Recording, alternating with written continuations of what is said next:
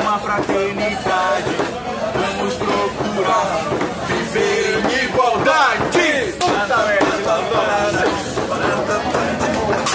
Eu estou. Taste brother, one taste brother. Vamos brilhar com um diamante em uma geração marcante. Mas é no